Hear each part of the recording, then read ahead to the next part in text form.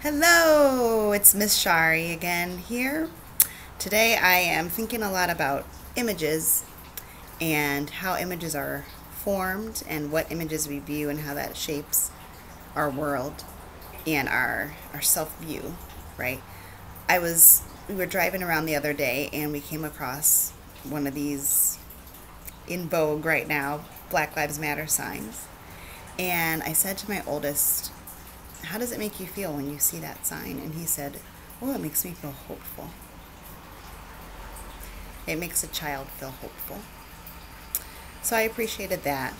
And so I'm also an artist, I'm a teacher, I'm a reader. I was raised by a family who worked in advertising. So I really think about what images I'm being fed or what I'm pursuing and what I offer to my children. I've always tried to have them around different uh, images of blackness in a positive way. I have, um, and things that look like them, right? Little brown boys doing things that I like for them to be doing, and strong women, and Christians, and uh, academics, intellectuals, um, people who think for their own, people who go on adventures, people who help others, things like that are important to me that they see there's right we've probably all heard this phrase you can only be what you can see.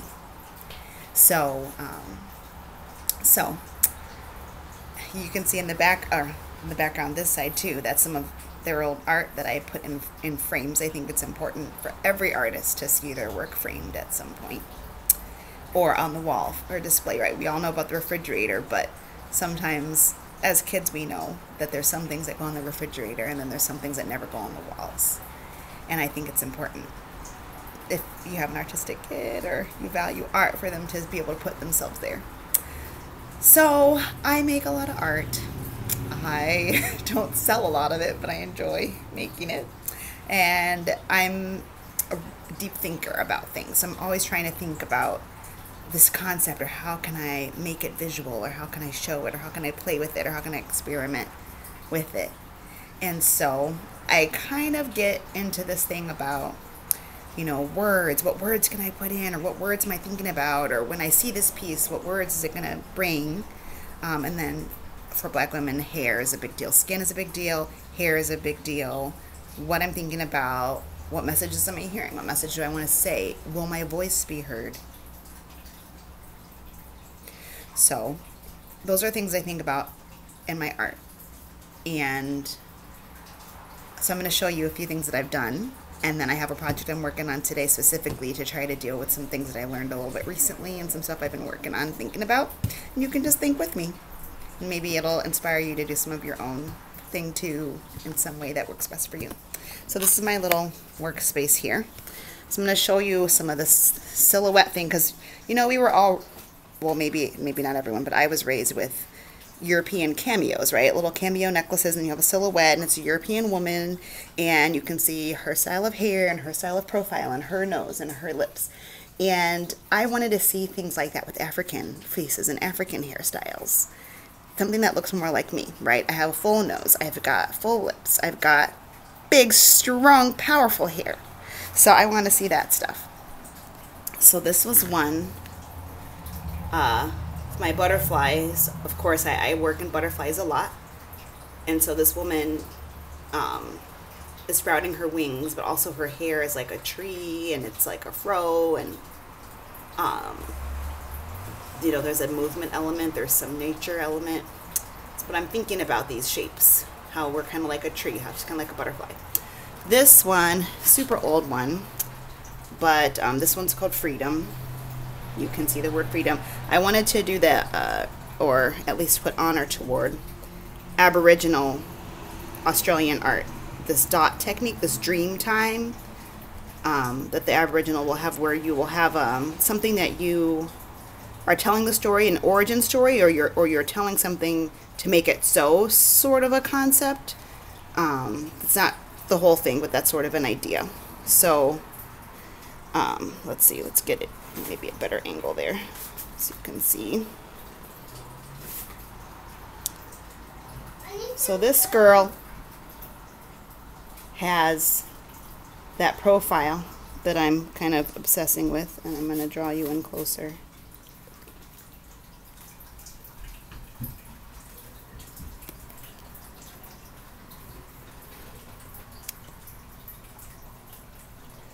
She's trying to get her voice out. Her thoughts are radiating out. And her hair is free. This lady, too, over here. Let's see if you can see her. So she sees things. She's got no voice. She's got thoughts in her hair. There's another one here. This is her silhouette. She's got her fro. She's silent. She's pondering. This one up here uh, sees things that kind of leak out of her. So she's mostly the sight and the mind. So that's that. Then over here, I'm locking now, so I'm trying to begin with changing my shapes here. So this is stage two of, you guys might have seen this if you're a Facebook friend of mine. This was when I still had all my hair.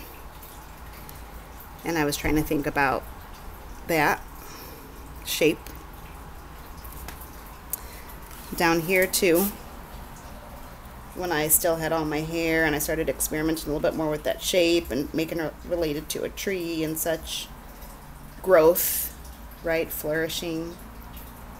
Really celebrating her nose and her cheekbones and her full lips. African shapes. Again, she's kind of cocooning. This girl doesn't really know. This piece doesn't really know where to go yet, so we're trying to figure out. I'm still trying to figure out with this piece what to do with it, but it's kind of like the cocoon opening type of a thing. So now I'm working on this piece and it's kind of like quilting where I've got a bunch of scraps so you can see in the bottom, those of you who watched my Zentangling video, you'll see in that bottom left corner that Zentangle.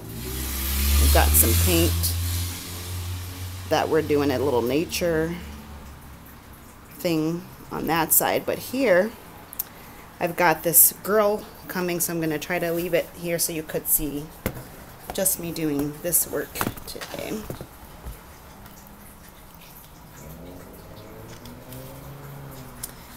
So I decided that words were going to be the important part here. Um, and trying to decide what words to use. And yep, I cut up books.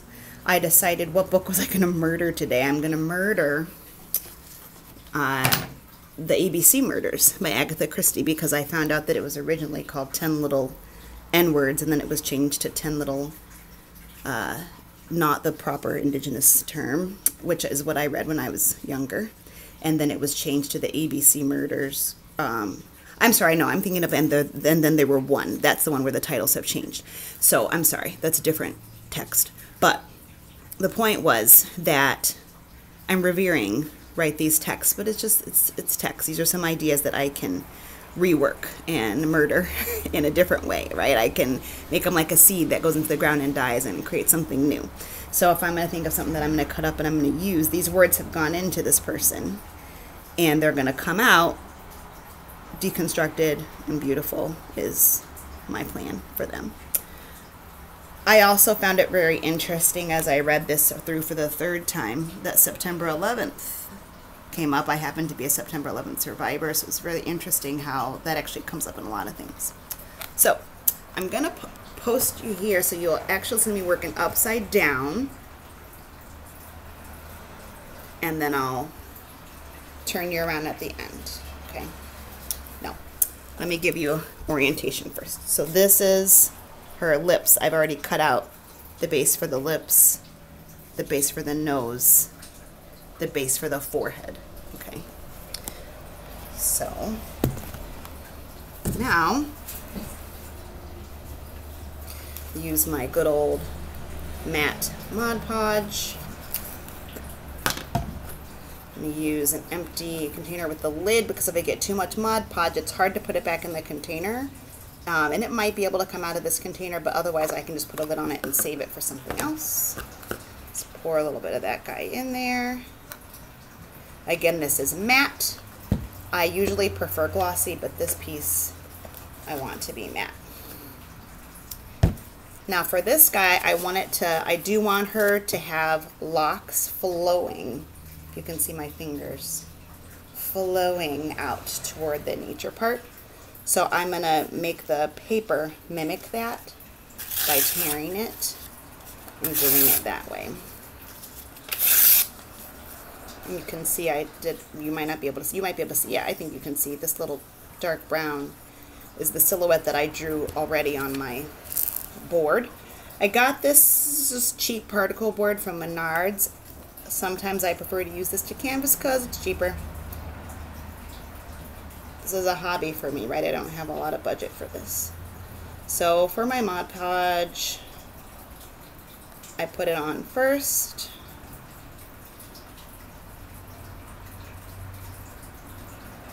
For this particular project, does not need to be smooth, but you could use a brayer to make it smooth, which is a tool that will help you to push it all the way flat.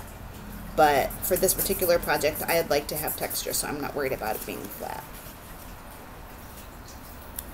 And I am deliberately leaving some empty spaces here, a little bit of overlap.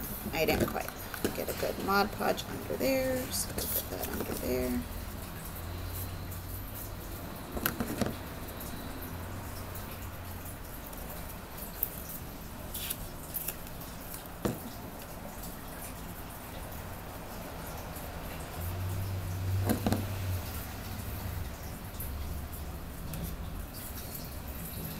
Anywhere you want it to go down, you have to have it under and above. Okay.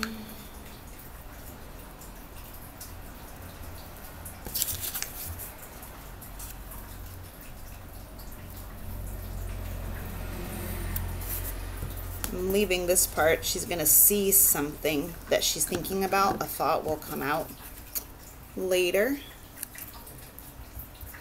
I don't know what the thought is yet. So for now, she's going to stay. And I'm just going to pour all this right on top.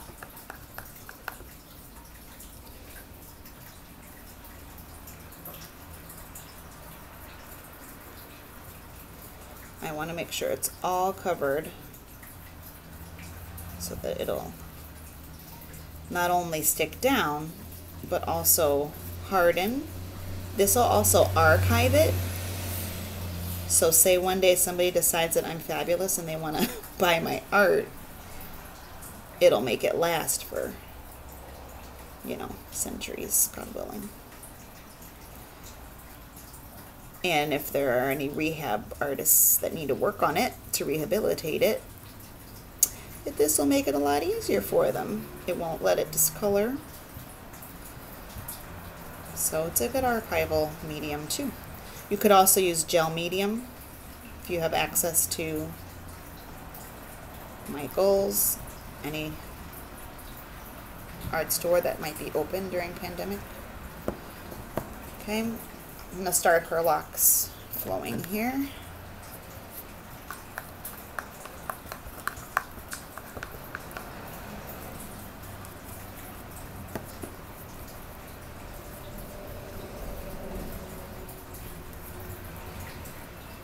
And the idea for this for me is that I'm going to have this as my base layer. So there's going to be paint above it. So again, I'm deciding its shape. So I don't really need to worry about, although I never worry about perfection, but I don't need for it to be perfect. Yep, upside downwards. Look at that.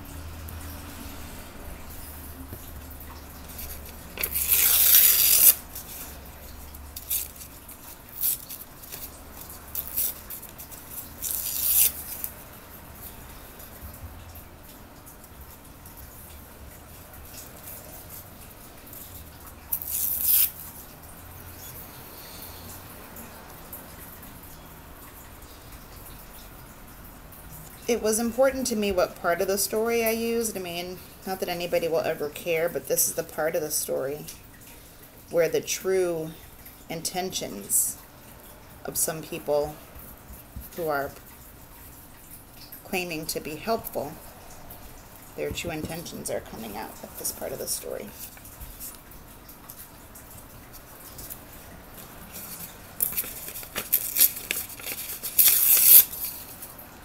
How they feel about women is coming out at this part of the story. Um, some archetypes that maybe were around, well, I guess they're still around now, but apparently it was appropriate to have those because she includes them, Agatha Christie, as though they're just common knowledge, the way that she chooses to use them in the text. And there are intellectual claims made based upon the men's perspective of how the women might spend their time or might interact with them personally that affects the, what they feel about the woman's intellect.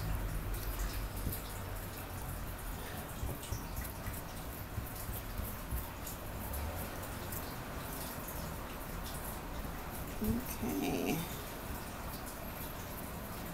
She's got some. She's got some locks. Let's give this girl some lips. Let's give her the bottom of her nose and let's give her some lips. This container's getting on my nerves. Just gonna pour it right on there.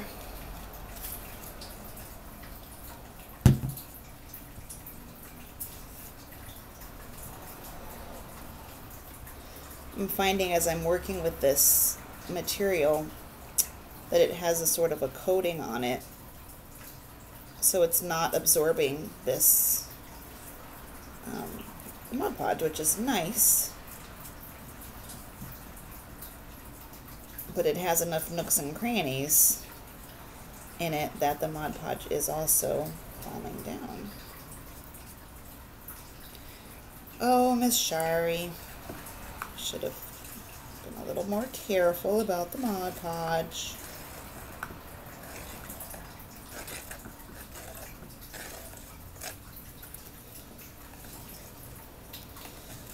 Look at me, messing up, changing my mind. Are you noticing that there's lessons in every single part of this? I hope you are getting life lessons and art hacks.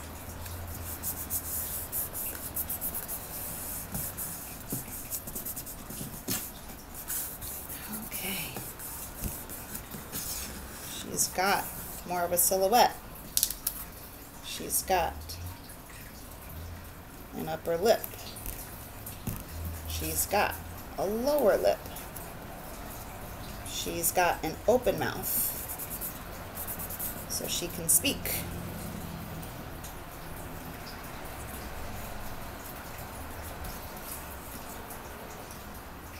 We're going to give her some more hair.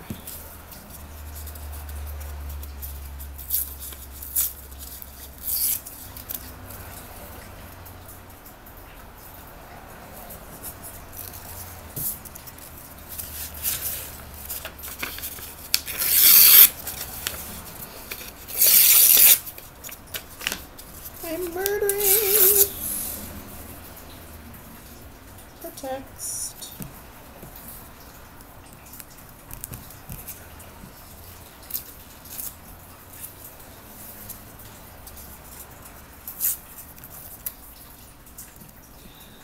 Oh yeah. I feel like this is going to be a really great guide for my paint later. I like the shapes that I'm seeing come up here.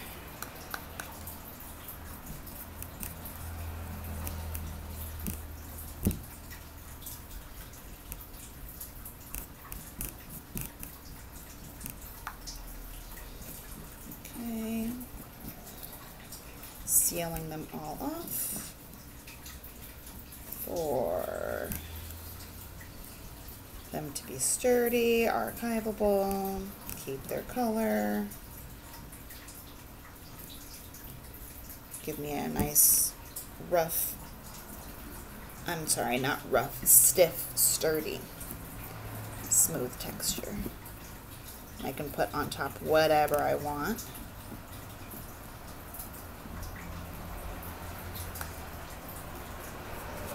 I really like decoupaging. I like gluing stuff on stuff. Let's get this girl's lips well in hand.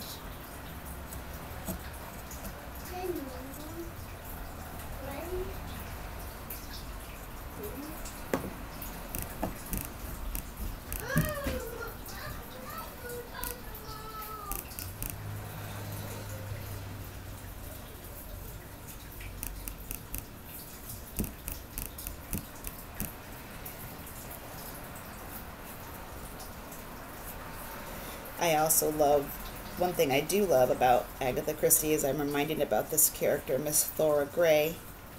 And she spells Grey G R E Y, which is the way that I was always taught to spell it, British way. Which people don't do these days. It's good to change and grow, but it's also good sometimes to be different. I like old things. I like making old things new. Alright, so let's take a look at the progress that we've got here. And then we'll come back and work on this together another day.